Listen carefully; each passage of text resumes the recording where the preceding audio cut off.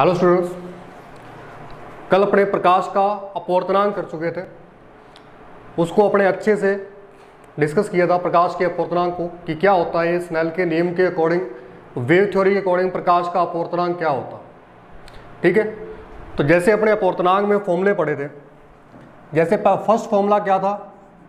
One two sine I upon में sine R ये Snell के नियम के अकॉर्डिंग था। ठीक है? इसके बाद दूसरा जो फॉर्मूला इसका पढ़ा था आपने, वो क्या था? V1 वन अपॉन में V2 ठीक है? फ़र्स्ट मीडियम में ऑप्टिकल रे की वेलोसिटी जो है, वो कितनी थी? V1 वन सेकेंड मीडियम में कितनी होगी? चेंज होकर के V2 ठीक है? पहले माध्यम में प्रकाश के वेग और दूसरे माध्यम प्रकाश के वेग का अनुपात क्या कहलाता है? अपवर्तनांक कहलाता है। ठीक है? एक फॉर्मूला आपने ये पढ़ा। अब मान लो अगर फ़र्स्ट मीडियम जो है, अगर फ़र्स्ट मीडियम निर्वात है फ़र्स्ट मीडियम क्या है? निर्वात या वैक्यूम है। तो निर्वात में प्रकाश का वेग कितना होता है? C होता है। V1 one is equal to C ठीक है? या c कितना होता है? तीन इंटू दस की पावर आठ मीटर पर सेकेंड ठीक है? तो ये अपन लोग डिस्कस कर चुके थे। अगर इसके अकॉर्डिंग लिखना चाहो तो mu one two C upon में क्या हो जाएगा? V हो जाएगा। या v2 को v मान सकते हो आप। ठीक है? ये फॉर्मूला हो जाएगा। इसके बाद तीसरा फॉर्मूला और पढ़ा था अपन लोगों ने कि mu one two is equal to lambda one by lambda two एक फॉर्मूला ये डिस्कस किया। ठीक है? क्योंकि इन फॉर्मूलों पर बेस अपने कुछ एक न्यूमेरिकल डिस्कस करेंगे आज अपवर्तनांक ठीक है? इसलिए फॉर्मूले बता रहा हूँ तो पहले थर्ड फॉर्मूला क्या था? लेमडा वन अपॉन में लेमडा टू फ़र्स्ट मीडियम में इसकी वेवलेंथ कितनी थी? लेमडा वन सेकेंड में कितनी होगी लेमडा टू तो फॉर्मूला क्या हो गया? लेमडा वन अपॉन में लेमडा टू तो ये तीन फॉर्मूले आपको ध्यान में रखना है। इसके अलावा कुछ एक बेसिक चीज़ें, यानी कि अपनी तरीके से अपने अपवर्तनांक को कैसे समझ सकते हैं उन चीज़ों का भी आपको ध्यान में रखना है। मैंने आपको कल बताया था कि प्रकाश का जो अपवर्तनांक है, वो क्या है? किसी भी प्रकाशीय किरण को बैंड करने की टेंडेंसी है, प्रवृत्ति है। किसी भी प्रकाशीय किरण को जितना ज़्यादा वो बैंड करेगा, उतना ही ज़्यादा उसका क्या होगा? अपवर्तनांक होगा। जितना कम बैंड करेगा, उतना ही कम क्या होगा? उसका अपवर्तनांक होगा। ठीक है? तो इसमें कुछ एक चीज़ें अपने डिस्कस कर लेते हैं। मोड़ने या बैंड करने की प्रवृत्ति। बैंड करने की क्या थी ये प्रवृत्ति थी? कि प्रकाशीय किरण को जितना ज़्यादा मोड़ा जाएगा, जितना ज़्यादा अपने क्या करेंगे? बैंड करेंगे। जितना ज़्यादा बैंड होगी, उतना ही ज़्यादा क्या होगा इसका? म्यू होगा। उतना ही ज़्यादा अपवर्तनांक होगा। जितना कम बैंड होगी, उतना ही कम क्या होगा इसका? अपवर्तनांक होगा। ठीक है? इस पॉइंट को आपको ध्यान में रखना नेक्स्ट बात एक और। टेम्परेचर पर देखा था आपने कि अपवर्तनांक डिपेंड करता है कि जितना ज़्यादा टेम्परेचर होगा, जितना ज़्यादा टेम्परेचर होगा, उतना ही कम क्या होगा? रिफ्रैक्टिव इंडेक्स होगा। ठीक है? या आपको कि जितना कम टेम्परेचर होगा, उतना ही ज़्यादा क्या होगा? अपवर्तनांक हो ठीक है? तो ये दो नियम आपको ध्यान में रखने हैं।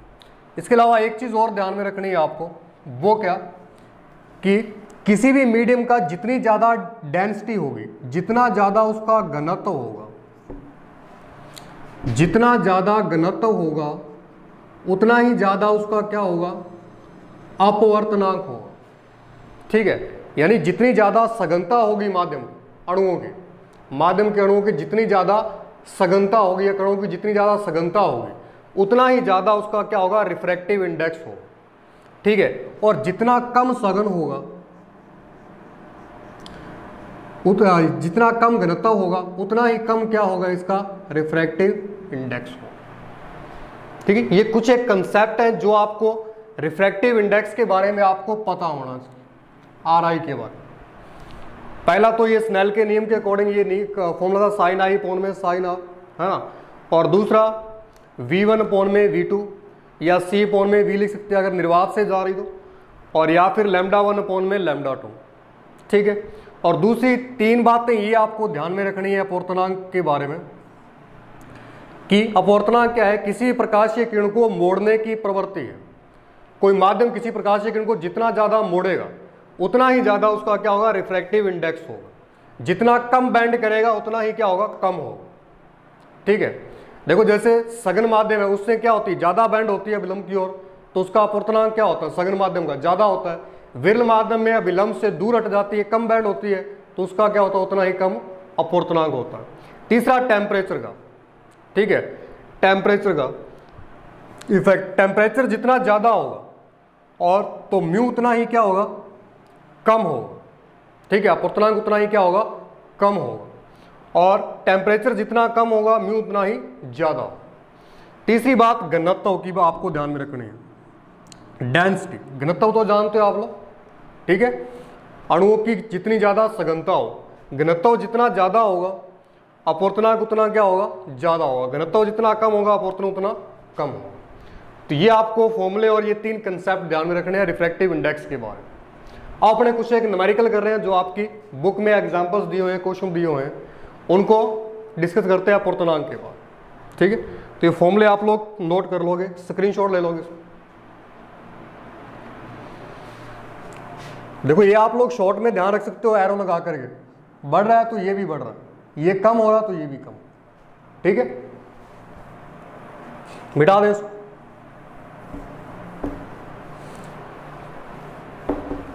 अब आप लोग क्वेश्चन देखो देखो फ़र्स्ट जो क्वेश्चन है, वो क्या है? इसमें आपको तीन माध्यम दे रखे हैं, पहला, दूसरा, तीसरा। ठीक है? इसमें क्या है? पहली, पहले माध्यम से प्रकाशीय किरण इस पर? आपतित होती है। ठीक है? इसके बाद अभिलंब के साथ ही आर वन एंगल बनाती है। फिर तीसरे माध्यम, जो इस माध्यम की लास्ट सरफेस है, उस पर ये आपतित होती है तो उससे कितना एंगल बनाती है? आर टू अभिलंब के साथ। और फिर ये फिर ये तीसरे माध्यम में जाती है तो अभिलंब से क्या हो जाती है? दूर हट जाती ठीक है, विलंब से क्या हो जाती है? दूर हट जाती तो आपको क्या करना है? माध्यमों के बारे में बताना है। यानी कि माध्यमों के बारे में आप क्या कह सकते हो कि N one N two N three क्या है? कौन ज़्यादा है और कौन कम है? इसके बारे में डिस्कस करना आप। कि एन वन ज़्यादा है या एन टू ज़्यादा है या एन थ्री ज़्यादा है, कौन ज़्यादा है, कौन कम है या कौन सघन है, कौन विरल है। ठीक है? तो यहाँ आप लोग देखो। ये जो प्रकाशीय किरण थी एन वन से जैसे ही एन टू में गई तो ये अभिलंब की ओर क्या होगी? बैंड होगी। यानी कि अभिलंब की ओर ज़्यादा झुक गई देखो, जितना ज़्यादा प्रकाशीय किरण झुकेगी, उतना ही ज़्यादा क्या होगा? अपवर्तनांक होगा। अभी आपको बताया। तो इसका मतलब जो N2 है, जो अपना N2 है, वो बड़ा होगा किससे? N1 से। क्योंकि पहले ये वाला एंगल बड़ा है और ये वाला क्या है? छोटा है। ठीक है? इस कारण ज़्यादा बैंड हो गई। ज़्यादा बैंड होगी तो इसका मतलब क्या होगा? एन टू क्या होगा? बड़ा होगा। ठीक है? इसके बाद, इसके साथ इसने R2 एंगल बनाया। ठीक है? और बाद में इसके साथ आर थ्री मान लो आप। इसके साथ कितना एंगल बनाया? आर थ्री बनाया। देखो, आपतित जो भी माध्यम में आपके पास प्रकाशीय किरण है, उसका एंगल देख लो आप लोग। एंगल बड़ा छोटा तो उससे आप समझ सकते हो कि प्रकाशीय किरण कितनी ज़्यादा बैंड हुई। जितनी ज़्यादा बैंड होगी, उतना ही माध्यम क्या होगा? सघन होगा। अब देखो N1 क्या है? N1 मीडियम का N3 से कंपैरिजन करो आप। और यहाँ से देखो N2 का N3 से करके देखो कि N2 में ये एंगल थोड़ा था। इसके बाद में ये अभिलंब से दूर हट गई एंगल क्या हो गया? बढ़ गया। ठीक है? यानी कि अभिलंब से क्या होगी? ये दूर होगी। बैंड कम हुई। ठीक है? अभिलंब की ओर। अभिलंब की ओर जितना बैंड होगी उतना माध्यम सघन होगा तो अभिलंब से क्या होगी? ये दूर होगी। इसका मतलब क्या हुआ? कि N3 जो है, वो N2 से क्या है? विरल है। इसका मतलब N2 क्या है? N3 से बड़ा। क्या है? एन थ्री से बड़ा। इसके बाद, पहले और इसमें, तीसरे में रिलेशन देखो आप। पहले और तीसरे में रिलेशन क्या पहले मीडियम में जो ऑप्टिकल रहती है आई एंगल बना रही थी। ठीक है? और थर्ड में आर थ्री बना रही है। अब आप देखो आई बड़ा है या आर थ्री बड़ा? आई बड़ा है या आर थ्री बड़ा? देखो आर थ्री जो है वो एंगल क्या है? अविलंब से दूर हटी है। ठीक है? झुकी नहीं है बैंड नहीं हुई है विलंब की ओर। ये क्या है? कम है। यानी कि एंगल जो आई है, वो क्या है? छोटा है। एंगल आर से। आर थ्री से कह दो आप। किससे? आर थ्री से क्या है? छोटा है। छोटा है तो इसका मतलब क्या होगा? जो एन वन है, वो क्या होगा? बड़ा होगा एन थ्री से। एन वन है, वो बड़ा होगा एन थ्री से। क्योंकि ये कम झुका हुआ है। ज़्यादा झुका हुआ और ये क्या है? कम झुका हुआ अभिलंब की ओर। अभिलंब से दूर होगी। अभिलंब की ओर झुकेगी तो उतनी बैंड मानेंगे अपने। ठीक है? और यहाँ देखोगे आप, जो एंगल आई है, वो आर थ्री से क्या है? छोटा है, ठीक है? तो इसका मतलब क्या हुआ कि एन थ्री जो है, वो क्या हो गया? विरल हो जाएगा। किसके रिस्पेक्ट में? एन वन के रिस्पेक्ट में। एन वन क्या हो जाएगा? एन थ्री के सापेक्ष सघन हो जाएगा। तो एन वन है, वो बड़ा हो जाएगा किससे? एन थ्री से। अब आप इक्वेशन वन इसको दे दो टू इसको दे दो और थ्री इसको दे वन टू और थ्री से आप कोई रिज़ल्ट निकाल सकते हो। कि क्या मान सकते हैं आप देखो एन टू है वो एन वन से बड़ा है। एन टू है वो एन थ्री से भी बड़ा ठीक है? और यहाँ अगर देखें एन वन है वो एन थ्री से बड़ा तो समीकरण एक, दो और तीन से क्या निष्कर्ष निकालोगे आप? एक, दो व तीन से। कि जो एन टू है, वो तो सबसे बड़ा है। देखो एन टू है वो एन वन से भी बड़ा है और एन टू है वो एन थ्री से भी बड़ा है। ये सबसे बड़ा हो। ठीक है? अब जो एन वन है, अब एन वन एन थ्री में देखो कौन बड़ा है। एन वन में और एन थ्री में से। एन वन क्या है? बड़ा है। एन वन बड़ा है। तो सबसे छोटा क्या हो जाएगा? एन थ्री ठीक है? तो ये इनमें रिलेशन समझेगी यानी कि माध्यम जो दूसरा है, वो क्या है? ज़्यादा सघन है और एन वन है, उससे कम है और एन थ्री सबसे विरल माध्यम। तो इसके बारे में ये कह सकते हैं तो ज़्यादा घनत्व वाला माध्यम एन टू है, उससे कम वाला एन वन है और उससे कम वाला एन थ्री ठीक है? तो ये अपने पास आंसर आ जाएगा कि सबसे सघन माध्यम कौन सा है एन टू और सबसे विरल माध्यम कौन सा है एन थ्री है। इसके बाद आपको क्वेश्चन नंबर दो दे रखा। इसमें क्या है? कि प्रकाश के किसी रंग की वायु में तरंग दैर्ध्य, यानी कि वेवलेंथ कितनी है? 6000 रेडियन। ठीक है? और जल में पैंतालीस सौ रेडियन, ठीक है?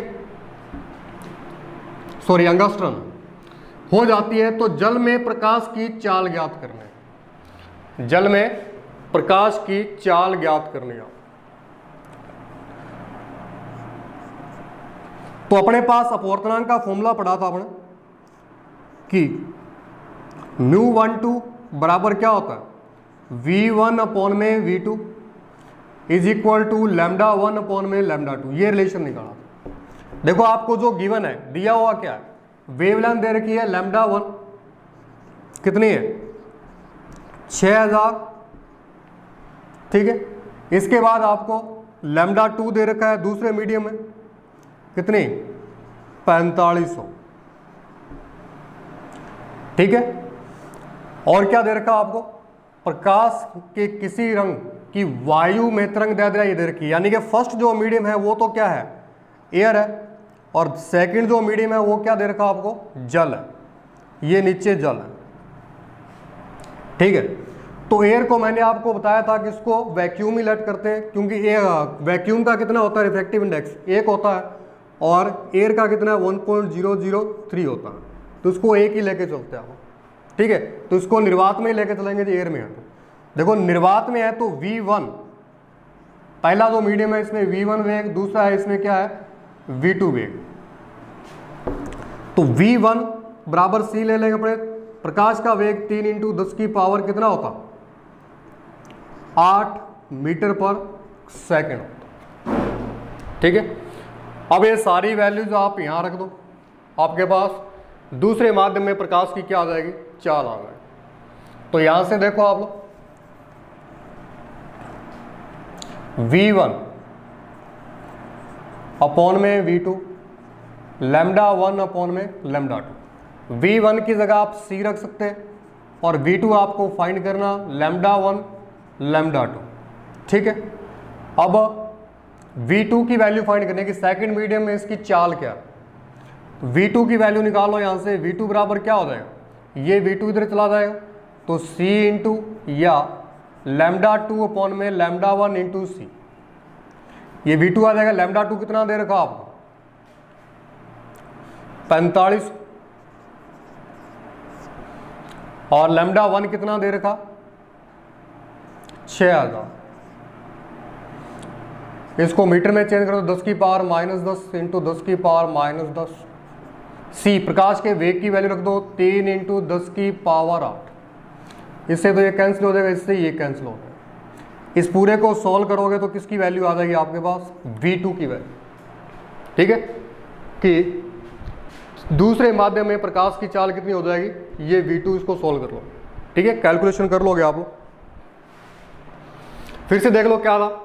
प्रकाश का जो रंग था, प्रकाश का कोई भी एक रंग है ठीक है, इसका वायु में वेवलेंथ 6000 हज़ार रेडियन अंगस्टन है, ठीक है, और जल में कितना है, कम होकर के 4500 अंगस्टन होता है, ठीक है। अब प्रकाश की चाल क्या होगी, जल में? एयर से किसमें आया? जल में आया, ठीक है। तो इसमें वेग v1 वन इसमें v2 टू यहाँ वेवलेंथ मान लो लेमडा वन थी, यहाँ कितनी होगी लेमडा टू ठीक है। तो फॉर्मूला अपने पास रिफ्रैक्टिव इंडेक्स का क्या होता है? Mu one two V one upon में V two is equal to lambda one upon में लेमडा टू ठीक है? तो लेमडा वन आपको गिवन है 6000 और लेमडा टू पैंतालीस सौ। वी वन वायु है तो इसको वैक्यूम में लेके चलेंगे, उसमें प्रकाश का वेग कितना? तीन इंटू दस की पावर आठ। तो ये फॉर्मूला आपने उठा के यहाँ रखें। तो यहाँ वी वन की जगह सी रख देंगे वी टू आपको फाइंड करना है। वी टू निकाल करके बाकी की वैल्यू पुट कर दो। तो आपके पास क्या आ जाएगा? दूसरे माध्यम में प्रकाश का वेग आ इसके बाद क्वेश्चन नंबर तीन दे रखा क्वेश्चन नंबर तीन क्या?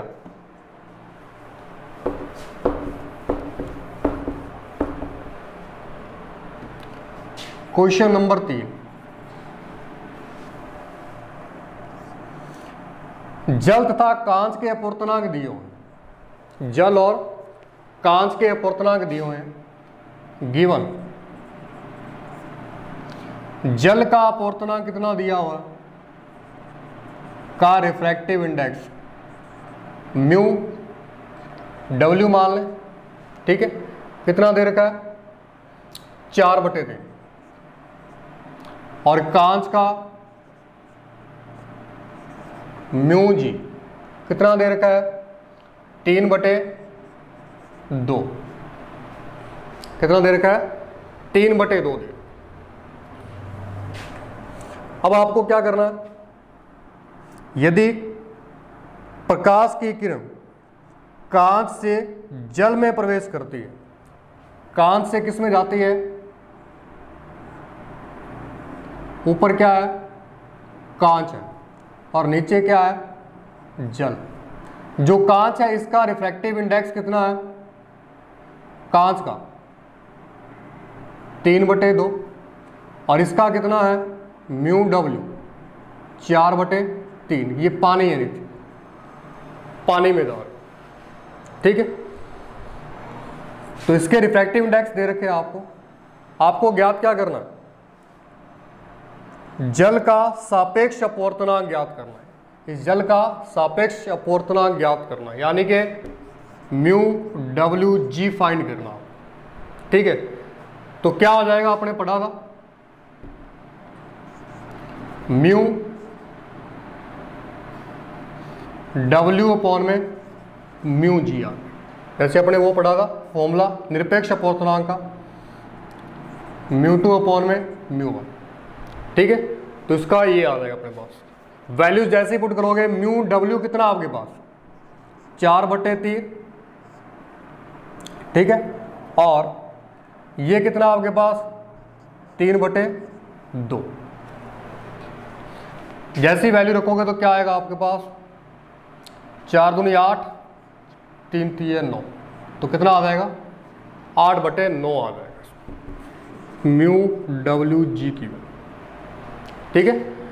ये आपके पास अपूर्तनांक आ इसके बाद नेक्स्ट आपको दे रखा है क्वेश्चन नंबर चार। किसी माध्यम का निर्वात के सापेक्ष अपर्तनाक दे रखा आपको कितना है? म्यू दे रखा आपको 1.33 माध्यम में प्रकाश का वेग ज्ञात करो। तो माध्यम में प्रकाश का वेग ज्ञात करना।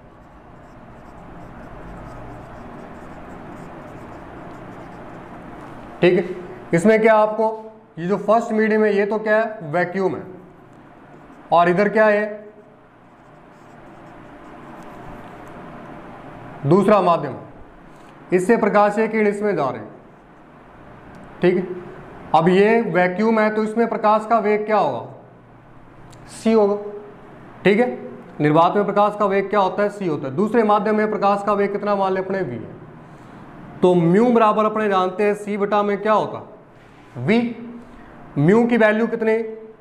दे रखी है आपको वन पॉइंट थ्री ठीक है? और सी प्रकाश का वेग तीन इंटू दस की पावर आठ होता है, जानते हो आप? वी आपको फाइंड करना है। वी को इधर ले लो। तीन इंटू दस की पावर आठ वन पॉइंट थ्री थ्री इसको आप सॉल्व कर लोगे तो आपके पास क्या आ जाएगी? दूसरे मीडियम में प्रकाश की क्या आ जाएगी? चाल आ जाएगी। ठीक है? कि इस माध्यम में प्रकाश की चाल कितनी है? ये दो मीडियम ठीक है? तो ये आ जाएगी वी की वैल्यू तो इस प्रकार से आपको न्यूमेरिकल करने हैं और भी न्यूमेरिकल आप लोग करके देखना। ठीक है? आपके पास आंक क्वेश्चन में होंगे, एक दो न्यूमेरिकल और मिल जाएँगे आपको। वो डील करके देखना तो इस प्रकार से अपूर्णांक पर कुछ न्यूमेरिकल थे जो अपने डिस्कस किए। इसके बाद चलते हैं अपने प्रकाश के अपवर्तन से संबंधित कुछ घटनाओं के बारे में।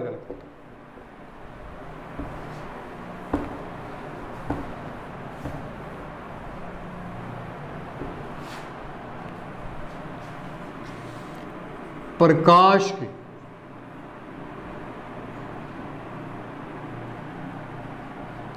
अपवर्तन से संबंधित घटनाएँ। देखो, प्रकाश का अपवर्तन पढ़ चुके हैं आपने। क्या होता है कि जब कोई प्रकाश की किरण एक पारदर्शी समांगी माध्यम से दूसरे पारदर्शी समांगी माध्यम में जाती है तो वह अपने पद से क्या हो जाती है? विचलित हो जाती है। प्रकाश की इस घटना को क्या कहते हैं? प्रकाश का अपवर्तन कहते हैं। ठीक है? तो अपवर्तन से संबंधित कुछ घटनाएँ पढ़ेंगे जो डेली लाइफ में अपने देखते हैं। ठीक है? तो उनके नाम नाम लिख रहा हूँ वन बाय वन उनको डिस्कस करेंगे। जैसे नंबर एक है। द्रव से भरे। द्रव से भरे। जल के तल का। ऊपर उठा हुआ। दिखाई दे।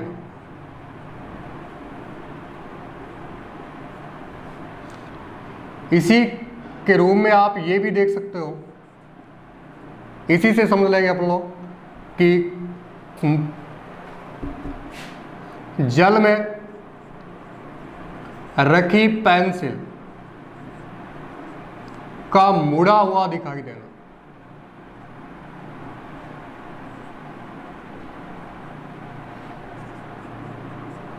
ठीक है? दूसरा जो है, वो क्या है?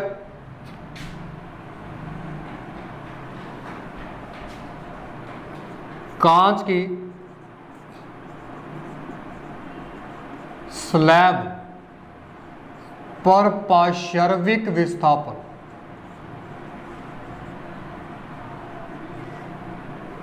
कांच की स्लैब में पार्श्विक विस्थापन, ठीक? नेक्स्ट जो है वो क्या है?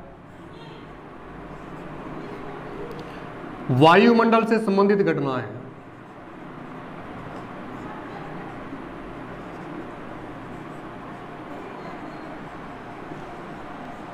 इसमें नंबर एक जो है वो क्या है? तारों का टिमटिमाना।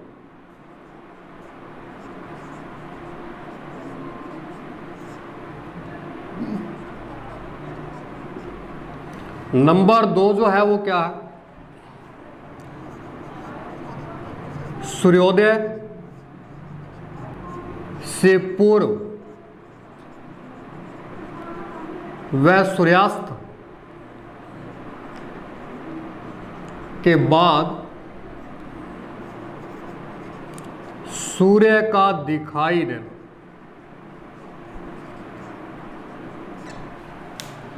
ठीक है? तो ये कुछ प्रकाश के अपवर्तन से संबंधित घटनाएँ हैं। इनके बारे में चर्चा कर। तो सबसे पहले क्या है?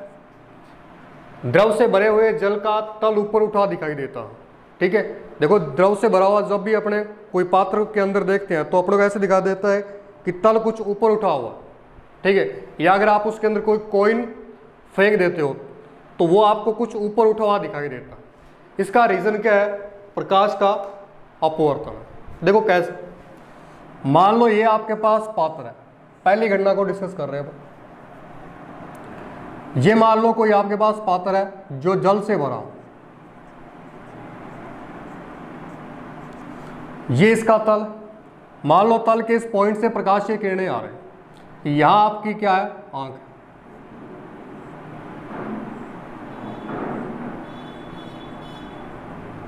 यहाँ आपकी आँख।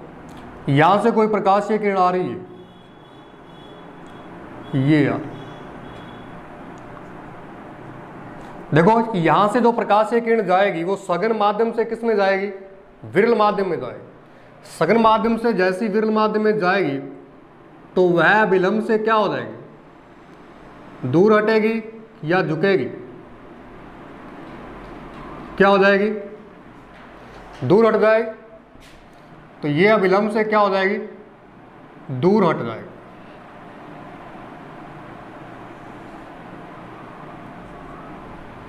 इधर से भी ये विलंब से क्या हो जाएगी? दूर हट जाएगी। लेकिन वास्तव में अपने को आती हुई कहाँ से प्रतीत होंगी? इनको पीछे बढ़ाओ। ये बढ़ाओ। वास्तव में आपको यहाँ से आती हुई प्रतीत होंगी।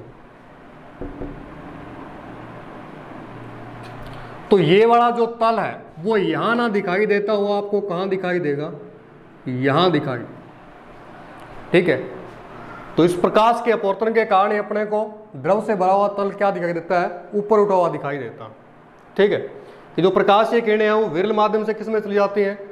सॉरी सघन माध्यम से किसमें चली जाती हैं? विरल माध्यम में, जिससे ये अभिलंब से क्या होती हैं? दूर हट जाते हैं। अभिलंब से दूर हटेंगी तो अपने को आती हुई कहाँ से प्रतीत होंगी कि यहाँ से। तो यहाँ इसका क्या बन जाएगा? आभासी प्रतिबिंब बन जाएगा।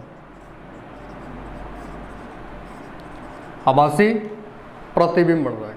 ठीक है? इसी प्रकार से यदि आप द्रव से भरे किसी पानी के पात्र में एक पेंसिल रख दो। एक पेंसिल रख देते हो।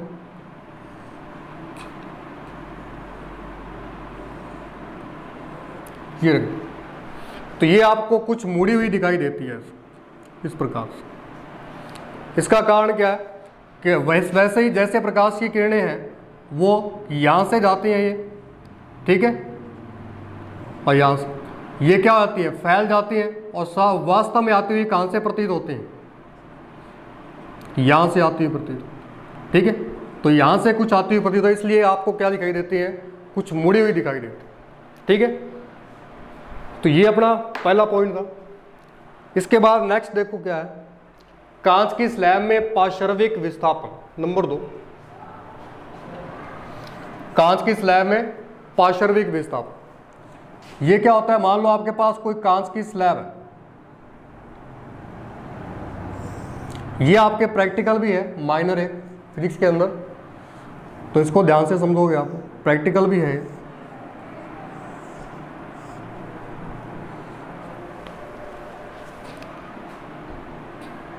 ये मान लो कोई प्रकाशीय किरण, ये कांच है, कांच की स्लैब होगी आपके पास, ठीक है?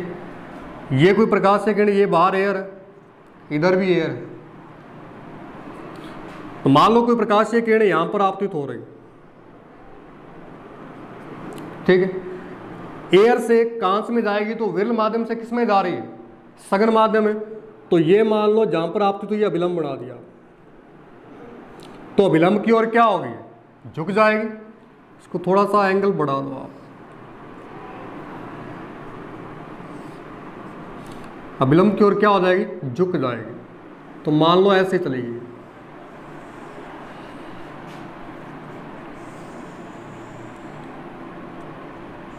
इस प्रकार से। ठीक है? अब जैसे इस सरफेस पे आपतित हुई बाहर जाएगी तो बाहर कौन सा? मीडियम विरल है। जैसे ही विरल माध्यम में जाएगी, जैसे ये विरल माध्यम में जाएगी तो विलंब से क्या हो जाएगी? दूर हट जाएगी। इस प्रकार से। अब विलंब से क्या हो जाएगी? दूर हट जाएगी। देखो, अब इस प्रकाशीय किरण को, जो आपतित प्रकाशीय किरण, इसको जाना कैसे चाहिए था? ऐसे चाहिए था। और ये गई कैसे? यहाँ से गई। तो ये जो डिफरेंस है, यही है पार्श्विक विस्थापन। ठीक है? या आप इसको ना मान करके ऐसे समझ लो इसको। इस प्रकाश ये किरण को यहाँ से आपतित करवाई थी अपन। ठीक है? तो बाहर कहाँ से निकली जाए यहाँ से शिफ्ट हो। तो इसको आप लोग इस प्रकार से समझ लोगे ये वाला। ये पार्श्विक विस्थापन है डिग्री। ठीक है? आपतित कहाँ हुई? इस बिंदु पर आपतित हुई। और यहाँ से निकलना कहाँ से चाहिए था? यहाँ से इसको निकली कहाँ से? यहाँ से। तो यही क्या है? पार्श्विक विस्थापन डी डिस्टेंस ठीक है? पहले एयर से कांस में गई तो अभिलंब की ओर झुक गई और कांस एयर में गई तो अभिलंब से क्या हो गई है? दूर हट गई। ठीक है? तो जो प्रकाशीय किरण है पहले यहाँ थी, यहाँ से कहाँ शिफ्ट हो गई है? यहाँ हो गई। जैसे ही निर्गत प्रकाशीय किरण हुई, यहाँ से निर्गत हुई तो यहाँ शिफ्ट हो गई। ठीक है? तो ये क्या होगा? यहाँ से, यहाँ तक इसका क्या हो गया विस्थापन हो गया इसी को क्या बोलते हैं अपने? पार्श्विक विस्थापन बोलते हैं। ये क्या होता है? पार्श्विक विस्थापन होता है। ठीक? इसके बाद नेक्स्ट पे चलते हैं अपने। वायुमंडल से संबंधित कुछ घटनाएँ हैं। सबसे पहली है कि तारे क्यों टिमटिमाते हैं? देखो, जो आकाश में तारे होते हैं वो विभिन्न परतों से होकर के उनका प्रकाश अपनी आँखों तक पहुँचता। विभिन्न परतें होती हैं आकाश में वायुमंडल में तो विभिन्न परतों से होता हुआ प्रकाश अपनी आँखों में पहुँचता है। तो विभिन्न परतों से जैसे ही वो पहुँचता है तो अपने जो आँख में रेटिना पर उनका प्रतिबिंब बनता है, वो क्या होता है? विस्थापित होता रहता है। ठीक है? देखो, विभिन्न परतों से गुजरेगा तो उनकी स्थिति क्या हो जाएगी? विस्थापित होगी तारों की जिससे रेटिना पर जो बनने वाला प्रतिबिंब भी क्या होगा? विस्थापित होता रहेगा। यानी कि बार बार क्या होता रहेगा? चेंज होता रहेगा। इसी कारण से तारे अपने को क्या दिखाई देते हैं? टिमटिमाते हुए दिखाई देते हैं। ठीक है? इसको आप लोग डेली लाइफ में समझ सकते हो। जैसे मान लो बल्लभ है आपने एक कंगा ले लिया। ये कंगा है मान लो। ये विभिन्न परतें होंगी। जैसे वायुमंडल में विभिन्न परतें हैं। तो इसको आप जैसे ही ऐसे ऐसे करोगे अपनी आँख के सामने तो आपको ये क्या दिखाई देगा? टिमटिमाता हुआ दिखाई देगा। ठीक है? तो ये ऑप्टिकल सोर्स आपको टिमटिमाता हुआ दिखाई देगा। ठीक है? क्यों? क्योंकि रेटिना पर इनकी प्रतिबिंब की जो स्थिति है, वो क्या होती रहती है समय के साथ? चेंज होती रहती है। ठीक है? इस कारण ये तारे हैं, वो क्या दिखाई देते हैं? टिमटिमाते हुए दिखाई देते हैं। और ग्रह है, वो नहीं टिमटिमाते ग्रह क्यों नहीं टिमटिमाते तो ग्रह जो है, उनका खुद का प्रकाश नहीं होता। ठीक है? खुद का प्रकाश नहीं होता, इस कारण उनका रेटिना पर एक स्थायी प्रतिबिंब बनता है। क्या रेटिना पर एक स्थायी प्रतिबिंब बनता है इस कारण जो ग्रह है वो टिमटिमाते नहीं। और तारे अस्थायी प्रतिबिंब अस्थायी प्रतिबिंब के कारण क्या होते हैं? टिमटिमाते रहते इसके बाद सूर्योदय से पूर्व, ठीक है? जब सूर्य का उदय होता है उससे पहले और सूर्यास्त के बाद, यानी कि सूर्य जब अस्त हो गया उसके बाद, अपने को सूर्य उगा हुआ दिखाई देता है, यानी कि सूर्य कुछ दिखाई देता रहता है। ऐसा क्यों होता है? ये भी प्रकाश के अपोर्तन के कारण होता है। देखो कैसे। ये मान लो अर्थ। ये पृथ्वी है। ये विभिन्न परतें हैं इसकी। देखो जो अर्थ होती है, जैसे ही अर्थ के अपने पृष्ठ की ओर बढ़ेंगे, जैसे ही अर्थ के पृष्ठ की ओर बढ़ेंगे तो घनत्व बढ़ेगा। क्या होगा? घनत्व बढ़ेगा।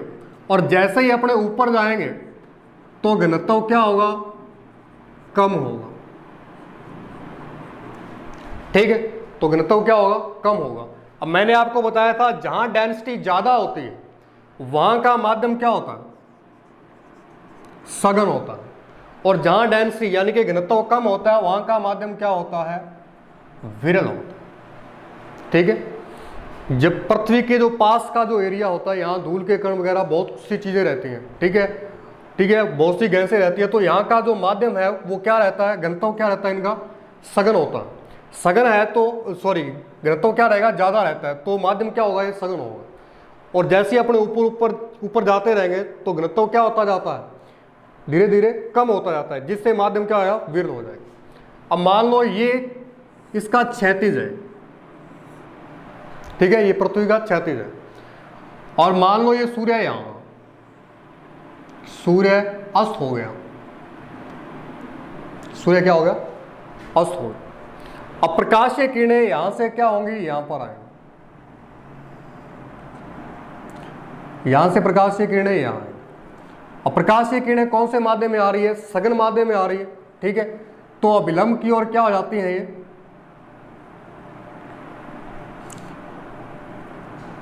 अभिलंब की ओर झुक जाते हैं। और जैसे ही अभिलंब की ओर झुकेंगी तो यहाँ जो ऑब्जर्वर है, उसको कहाँ से आती हुई प्रतीत होंगी? डैश डैश डैश डैश यहाँ से तो इसका जो आभासी प्रतिबिंब है, वो यहाँ बनेगा इसका सूर्य अस्त या सूर्य, उदय से पहले अपने को सूर्य दिखाई देता है। जैसे सूर्य सूर्यास्त हो गया, सूर्य अस्त हो गया तो सूर्य क्षैतिज से नीचे चला गया। ठीक है, इससे अब जो प्रकाशीय किरणें आएँगी ऑब्जर्वर के पास, वो विरल से किसमें आएगी? सघन माध्यम में।